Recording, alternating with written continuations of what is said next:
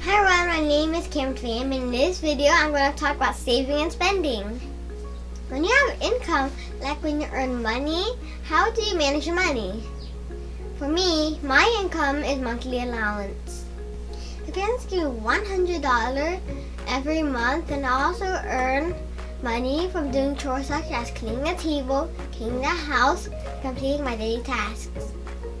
What do you spend your money on? 50% of your income should be spent on things you need.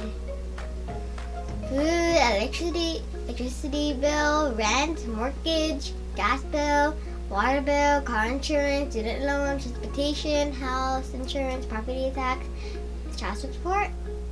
Luckily, I don't need to worry about all this stuff until I'm older. My parents provide me with everything I need. 30% of your income should be spent on things you want. Things like toys, mansions, extra clothes, nice phone, laptop for games, eat out, movies, Legoland, Boomer, Chicken. Cheese, and ma- and a nice watch. McDonald's, tutor classes. Let's do the math on an example. 30% of $100 equals $30. So I can spend $30 every month on things I want. 5% of this 30% can be spent on charity.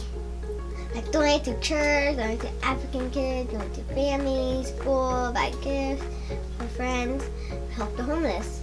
Gift to dads who can pay off his debts, buy pretty flowers for mommy. For example, 5% of $30 equals $1.50. So I can spend $1.55 or 50 cents every month to help others. Doing good deeds make me feel happy. Seeing my mom smile also makes me happy. Finally, 20% of the income should be for saving. Save for retirement like the 401k or the IRA.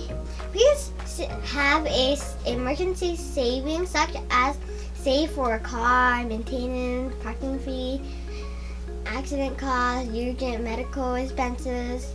We don't want to borrow people's money when unexpected things happen. We need to be financially responsible. The savings money can be spent on making extra payments for credit card, vacations, buy a nice car, Pokemon, invest to make more money, save to start a business, save to buy a house for mommy. For example, 20% of $100 is $20. So I can spend about $20 a month. I can put in my money market account until I save enough money to pay for my car for college. That's why I recommend for managing your money so you can have a well-balanced life. It's easier said than done, but we must have self-control and discipline to get anywhere in life.